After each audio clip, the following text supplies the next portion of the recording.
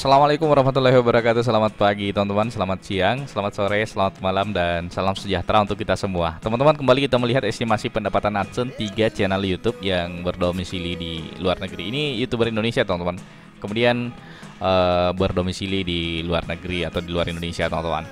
Ada Dewi Pobo, Yanti Gwise Family, dan Dian Bara Nah ini baru pertama kali kita akan melihat atau membandingkan estimasi pendapatan AdSense dari Dewi Fobo teman-teman di, dibandingkan dengan Yanti Guise Family dan Dian Barana. Ketiga channel YouTube ini kira-kira siapa yang memiliki estimasi pendapatan AdSense terbanyak dari uh, ketiga channel YouTube ini ya untuk satu bulan terakhir.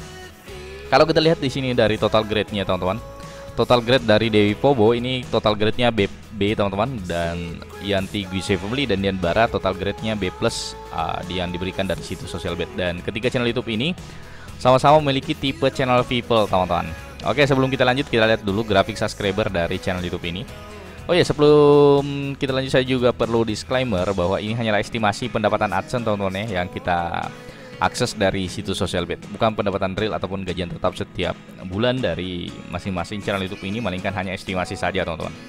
Oke kita lanjut. Ini adalah grafik subscriber dari ketiga channel YouTube ini warna ungu Dian Bara, warna biru Yanti Gwise Family dan warna merah Dewi Wobo teman-teman.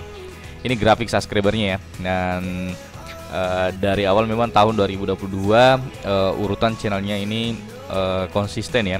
Dian Bara di urutan pertama untuk jumlah subscriber, kemudian di urutan kedua ada Yanti Gwise Family dan di urutan ketiga ada Dewi Wobo sampai saat ini teman-teman. Ini grafik perkembangan subscribernya ini sama-sama memiliki kenaikan kalau kita lihat teman-teman ya dan sama-sama berkembang ketiga channel YouTube ini. Nah, ini grafik subscriber, kemudian kita lihat dari grafik views-nya, teman-teman. Nah, hampir sama dari grafik subscriber ya.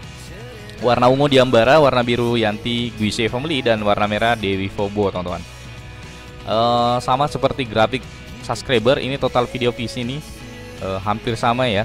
Uh, dan warna biru dan ungu yang memiliki kenaikan cukup drastis ya Yanti Guise Family versus Dianbara. Kemudian Dewi Fobo ini kenaikannya di tahun 2023 bulan 7 kemarin ini sudah naik juga teman-teman. Nah untuk lebih jelasnya kalau kita geser ke bawah sini Ini adalah uh, data subscriber, data video viewsnya juga. Uh, Untuk channel Youtube Dewi Pobo Subscriber saat ini mencapai 410.000 subscriber. Janti Guise Family 934.000 subscriber. Dan Dian Bara 1,3 juta subscriber untuk saat ini Nah, dari ketiga channel YouTube ini yang memiliki estimasi pendapatan eh sorry, yang memiliki jumlah subscriber terbanyak adalah Dian Bara disusul oleh Yanti Guise Family, kemudian Dewi Fobo, teman-teman. Total penayangannya pun seperti itu ya. Di urutan pertama ada Dian Bara 550 juta, di urutan kedua ada Yanti Guise Family 477 juta dan di urutan ketiga ada Dewi Fobo, teman-teman. Ini 154 juta total video viewsnya. Video terbanyak yang diupload, nah ini Yanti Guise Family tonton mencapai 2800 video sudah diupload. Di urutan kedua ada di Pobo 1600 dan selisih 100 video. Ini di urutan ketiga Dian Bara 1500 video yang sudah diupload teman-teman sejak tahun 2017. Dan kalau kita geser ke sini, nah ini yang tidak kalah menarik teman-teman. Ini estimasi potensi penghasilannya teman-teman dalam satu hari, satu bulan terakhir, dan satu tahun terakhir. Nah, di sini ada tiga ya, teman-teman. Ada estimasi pendapatan harian, bulanan, dan tahunan. Untuk estimasi pendapatan tahunannya kita tidak bahas ya, karena ini bisa saja berubah sewaktu-waktu tergantung dari uh, estimasi pendapatan hariannya. Jika ini berubah, maka otomatis estimasi pendapatannya juga akan berubah. Di sini ada tiga bagian juga, teman-teman. Nah, yang sebelah kiri sini ada Dewi Pobo, kemudian yang tengah Yanti Guise Family, dan sebelah kanan sini ada Dian Bara. Nah, kalau kita lihat di bagian atas sini, nah ini adalah estimasi pendapatan harian dari ketiga channel YouTube ini. Nah, yang memiliki estimasi pendapatan harian dalam satu hari terakhir ya untuk AdSense. Di urutan ketiga ada Dewi Pobo, teman-teman. Nah, ini dalam satu hari mampu menghasilkan AdSense sekitar 57 untuk angka minimalnya dan 917 untuk angka maksimalnya, teman-teman. Kita ambil untuk estimasi terendahnya saja dari situs Social Bet ini diperkirakan untuk channel YouTube Dewi Pobo ini menghasilkan uh, 57 dolar Amerika Serikat atau setara kalau kita konversi ke rupiah. Coba ya kita lihat dulu. 890 ribu rupiah teman-teman dalam satu hari minimal AdSense yang diperoleh di channel YouTube Dewi Pobo. Di urutan kedua ada channel YouTube Dian Bara teman-teman 105 dolar teman-teman dalam satu hari terakhir. Ini AdSense yang dikumpulkan dan untuk angka minimalnya ini 105 dolar.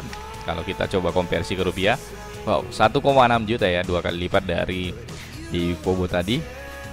Jadi channel YouTube Dian Bara ini mampu menghasilkan sekitar 1,6 jutaan uh, untuk satu hari saja. Ini untuk estimasi pendapatan AdSense minimal. Kemudian kita beranjak di baris kedua ini. Nah ini adalah potensi penghasilan bulanannya teman-teman dari ketiga channel YouTube ini. Nah sama seperti estimasi pendapatan harian di urutan ketiga ada channel YouTube Dewi Pobo teman-teman. 1700 dolar. Nah ini berada di urutan kedua ya. Eh ketiga sorry. Untuk angka minimalnya potensi penghasilannya dalam satu bulan terakhir untuk AdSense minimal mencapai 1700 dan maksimal bisa mencapai 27.000 dolar Amerika Serikat. Kita coba ambil untuk angka terendah 1700 dolar teman-teman. 1700 dolar Amerika Serikat.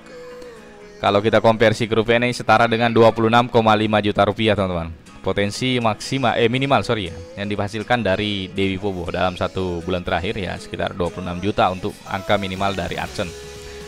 Kemudian di urutan kedua ada Dian Bara teman-teman 3.200 dolar Amerika Serikat. Nah ini kalau kita konversi ke rupiah 3.200 dolar ini setara dengan 49,9 juta rupiah teman-teman. Jadi Dian Bara ini hampir 50 juta untuk angka minimalnya. Ini diprediksi di situs sosial BT dalam satu bulan terakhir. Dan di urutan pertama ada uh, Yanti Guise Family teman-teman 5.500 dolar Amerika Serikat dalam satu bulan terakhir untuk angka minimalnya. Nah, kalau kita konversi ke rupiah, nah ini setara dengan 85,9 juta rupiah, teman-teman. Luar biasa estimasi pendapatan dari ketiga channel YouTube ini. Uh, jadi bisa disimpulkan ya dari ketiga channel YouTube ini yang memiliki estimasi pendapatan AdSense terbanyak untuk saat ini ya untuk satu bulan terakhir adalah channel YouTube dari uh, Yanti Guise Family teman-teman ya 5.500 dolar untuk atau setara dengan 85 juta rupiah untuk angka minimalnya saja disusul oleh Dian Bara kemudian di urutan ketiga ada Dewi Pobo teman-teman 1.700 dolar potensi minimalnya nah ini e, berapa kali saya sampaikan bahwa e, estimasi pendapatan AdSense itu biasanya dipengaruhi oleh penayangan di channel YouTube itu sendiri. Kita lihat di urutan ketiga ada Dewi Pobo. Berapa kira-kira penayangannya dalam satu bulan terakhir? Oh ini turun 52% ya. Channel YouTube ini ditonton videonya ya total videonya ditonton sebanyak 6,8 juta teman-teman. Hingga diperoleh estimasi pendapatan 1.700 dolar. Ini 6,8 juta di urutan ketiga dan di urutan kedua ada Yanti eh sorry Dian Bara. Tentunya di atas 6 juta lagi kita lihat Dian Bara. Dua kali lipat teman-teman 12,6 juta. Nah, sehingga estimasi pendapatannya juga dua kali lipat ya dari channel YouTube Dewi Pobo. Dan di urutan pertama ada Yanti Guise Family teman-teman. Ini sudah saat ini naik ya dari periode sebelumnya. Naik 38% penayangannya. Ini ditonton sebanyak 22 juta kali penayangan teman-teman. Oke, jadi kalau ada yang bertanya teman-teman, eh, manakah yang dilihat untuk pendapatan AdSense, apakah subscriber atau eh, views? Nah, yang menentukan adalah tergantung dari banyaknya penonton kita. Semakin banyak penayangan di channel YouTube kita, maka otomatis semakin banyak juga estimasi pendapatan dari channel YouTube kita. Meskipun demikian, harapan saya semoga video ini menjadi inspirasi ya buat teman-teman semua, khususnya sama YouTuber pemula agar tetap semangat lagi membuat konten-konten YouTube. Semoga kita juga bisa seperti mereka-mereka ini yang kita bahas. Oke. Demikian video kali ini. Terima kasih banyak buat teman-teman yang sudah menonton. Salam YouTuber pemula dan sampai jumpa.